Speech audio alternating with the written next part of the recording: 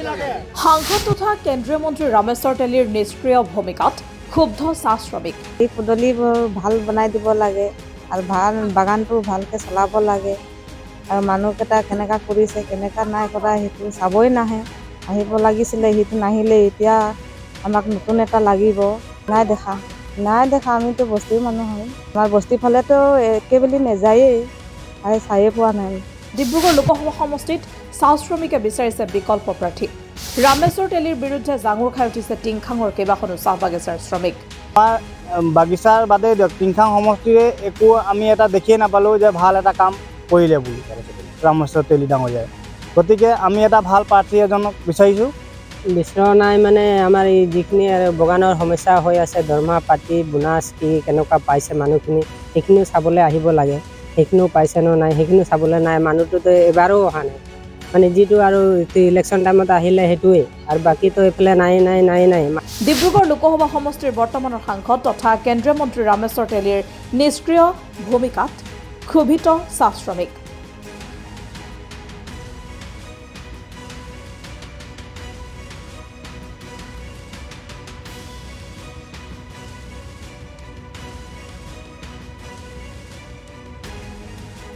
চাহ বাগিচাৰ শ্ৰমিক সন্তুষ্ট নহয় ৰামেশ্বৰ তেলীৰ কাম কাজত দহ বছৰে কোনো ধৰণৰ উন্নয়নমূলক কাম কৰিব নোৱাৰা ৰামেশ্বৰ তেলীৰ বিকল্প প্ৰাৰ্থী বিচাৰিছে টিংখাং বাগিচাৰ চাহ শ্ৰমিকে।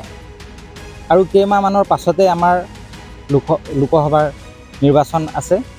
গতিকে আমি এষাৰ কথা স্পষ্টভাৱে ক'ব বিচাৰিছোঁ যে যোৱা দহটা বছৰেই ডিব্ৰুগড় লোকসভাৰ পৰা নিৰ্বাচিত হয় ৰামেশ্বৰ তেলী ডাঙৰীয়াই। ভাৰত চৰকাৰৰ মন্ত্ৰিত্বও পাইছে। কিন্তু আমি যোৱা দহটা বছৰৰ পৰা আজি তাৰিখলৈকে তেওঁৰ যিখিনি আমাৰ চাহ শ্ৰমিক ৰাইজৰ তথা টিংখাং সমষ্টিৰ পৰা গোটেই আমাৰ ডিব্ৰুগড় লোকসভা সভাৰ যিমানখিনি সমষ্টি আছে আমি তেওঁৰ দ্বাৰা যিখিনি কাম আমি আশা কৰিছিলোঁ তেনেধৰণে তেওঁ আমাক মানে কাম দিব পৰা নাই। যাৰ কাৰণে আমি আশা কৰিছোঁ তথা আমি অসম চৰকাৰকো আহ্বান কৰিম যে আমাৰ চাহ জনগোষ্ঠীৰ পৰাই ডিব্ৰুগড় লোকসভা সমষ্টিৰ পৰা এজন নতুন চাহ জনগোষ্ঠীয় নেতা আমাক লাগে বুলি আমি আহ্বান কৰিছোঁ। আগন্তুক লোকসভা নিৰ্বাচনক কেন্দ্ৰ কৰি তীব্ৰ প্ৰতিক্ৰিয়া সৃষ্টি হৈছে টিংখাঙত। টিংখাঙৰ বাগিচাই বাগিচাই সৃষ্টি হৈছে ৰামেশ্বৰ তেলীৰ বিৰোধী ঢৌ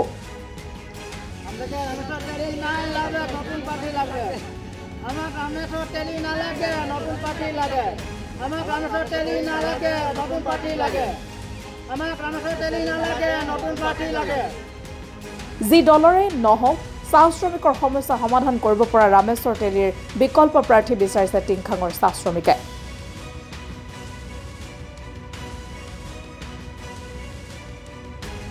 আগন্তুক লোকসভা নিৰ্বাচনত পুনৰ যদি ৰামেশ্বৰ তেলীয়ে প্ৰাৰ্থিত্ব লাভ কৰিলে তীব্ৰ বিৰোধিতা কৰাৰো হুংকাৰ প্ৰদান কৰিছে চাহ শ্ৰমিকসকলে। টিংখাং সমষ্টিৰ কেইবাখনো চাহ বাগিচাৰ শ্ৰমিক এতিয়া ক্ষোভিত তেলীৰ নিষ্ক্ৰিয় ভূমিকাক লৈ। বাগিচাত কামৰ মাজতেই তেলি বিৰোধী শ্লোগান প্ৰদান কৰে শ্ৰমিকে। আগন্তুক লোকসভা নিৰ্বাচনত নতুন মুখৰ প্ৰাৰ্থী বিচাৰিছে চাহ শ্ৰমিক ৰাইজে।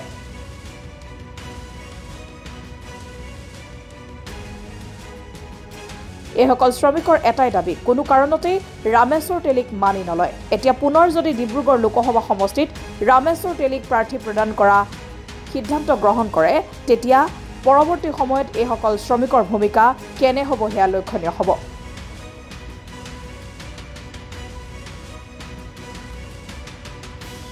কৰঙানী চাহ বাগিচা। তো আমি যিটো আগন্তুক এম পি ইলেকশ্যন আহি আছে গতিকে এম পি ইলেকশ্যনত যোৱা দহটা বছৰত আমাৰ ৰামেশ্বৰ তেলী ডাঙৰীয়াই একো এটা কাম কৰি নিদিলে আমাৰ বাগিচাৰে হওক বা টিংখাং সমষ্টিৰে হওক।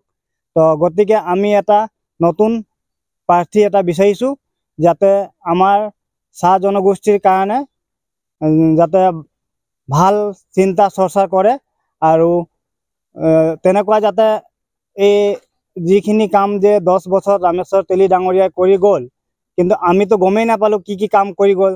যোৱা দহটা বছৰ আগতে আহিছিলে খালি ইলেকশ্যনটো সময়ত আহিছিলে। আহ, আৰু ইলেকশ্যনৰ পাছত মাজতে একবাৰ আহিছিলে। আৰু বহুতে এতিয়া ৰামেশ্বৰ তেলী ডাঙৰীয়াক চিনিয়ে নাপায়। গতিকে আমি তাৰ বিপৰীতে নতুন এটা নতুন এজন প্ৰাৰ্থীক বিচাৰিছোঁ। আৰু যাতে আমাৰ চাহ জনগোষ্ঠীৰ কাৰণে বা আমাৰ সমাজটোৰ কাৰণে ভাল এটা কাম কৰি যাওক। তাৰ কাৰণে নতুন এটা প্ৰাৰ্থী বিচাৰিছোঁ আমি কোনো দলৰ এগেইনষ্টত গৈ নকওঁ। গতিকে আমাক প্ৰাৰ্থী এজন ভাল লাগে তাৰে আমি আশা থৈছোঁ আৰু। আমাৰ আমাৰ বাগিচাৰ বাদে টিংখাং সমষ্টিৰে একো আমি এটা দেখিয়ে নাপালোঁ যে ভাল এটা কাম কৰিলে বুলি। ৰামেশ্বৰ তেলী। ডাঙৰীয়াই।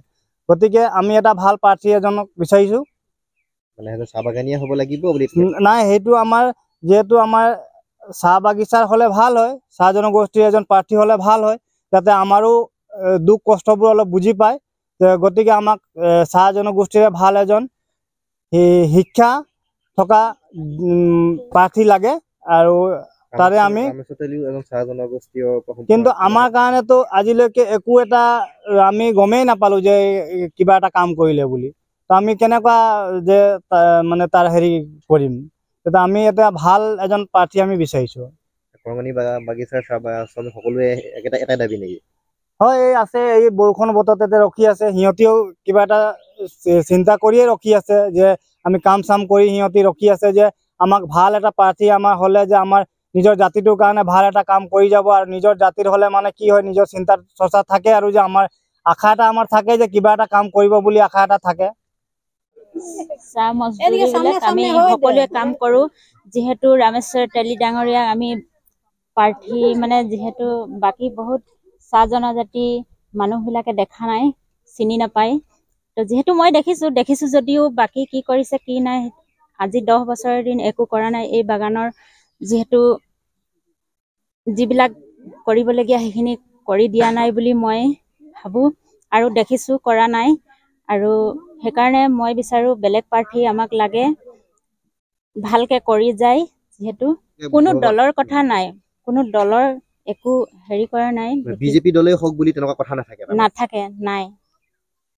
প্ৰাৰ্থীজন বদলি হ'ব লাগে। প্ৰাৰ্থীজন বদলি হ'ব লাগে। ৰামেশ্বৰ তেলী আমাৰ ইয়াত অহা নাই যিহেতু মই দেখা নাই অহা আমাৰ বাগানত অহা উপস্থিত হোৱা মই এদিনো দেখা নাই। কেনেকুৱা এজন প্ৰাৰ্থী আপোনালোকে বিচাৰি বিচাৰিছে আচলতে? হ'লে ভাল কাম কৰিব বুলি ভাবে। কেনেকুৱা? আমাৰ যিটো চাহ জনজাতিৰে বিচাৰোঁ হ'লে ভাল কৰিব বুলি মই ভাবোঁ।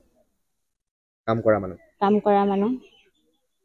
বিচৰা নাই মানে আমাৰ এই যিখিনি বাগানৰ সমস্যা হৈ আছে দৰমহা পাতি বোনাছ কি কেনেকুৱা পাইছে মানুহখিনি সেইখিনিও চাবলৈ আহিব লাগে। সেইখিনিও পাইছে নে নাই সেইখিনিও চাবলৈ নাই মানুহটোতো এবাৰো অহা নাই। মানে যিটো আৰু ইলেকশ্যন টাইমত আহিলে সেইটোৱে আৰু বাকীতো এইফালে নাই নাই নাই নাই মাজত এবাৰ আহিছিলে কি আৰু নাই। এইবাৰ এইফালেতো দেখাই নাই। এই হাই ছেকেণ্ডেৰী ৰাজুৱাৰত আহিছিলে এই কটা চাউলৰ ৰেচন কাৰ্ড দিবলৈ সেইটো সময়ত আহিছিলে আৰু এই বাগানত যে যাব লাগে চাব লাগে চাহ জনগোষ্ঠীখিনিক এইখিনি আমাৰ আদিবাসী সেইখিনি চাবলৈ নাহে সেইকাৰণে আমি মানে ৰামেশ্বৰ তালিৰ জগাত বেলেগ এটা পাৰ্টি দল আনিবলৈ বিচাৰিছোঁ।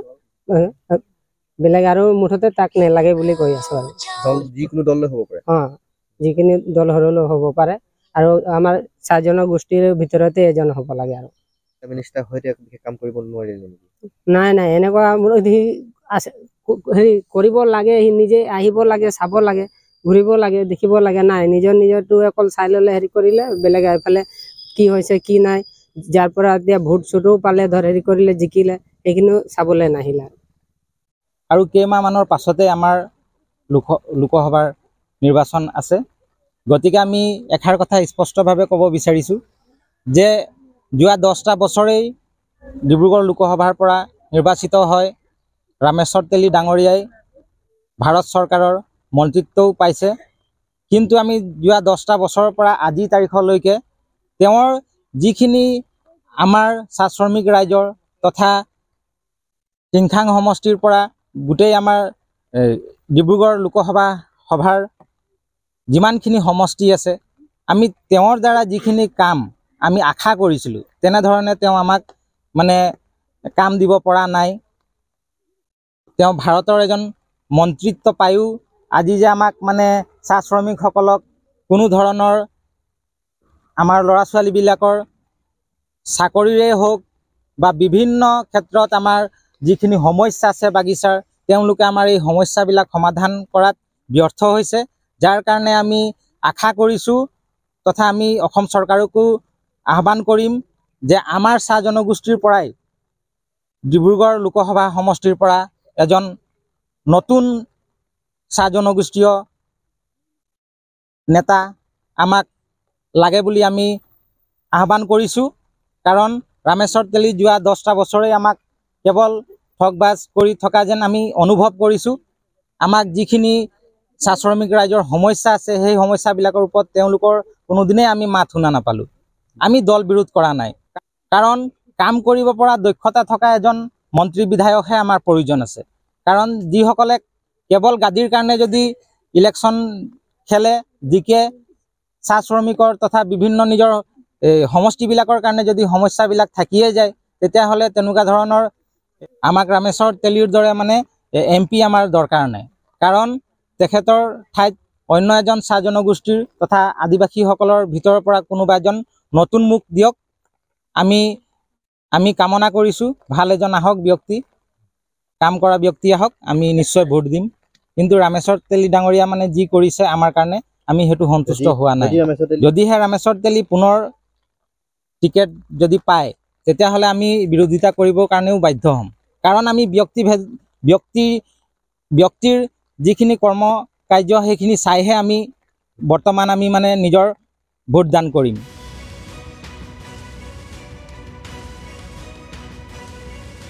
Bureau' report Assam today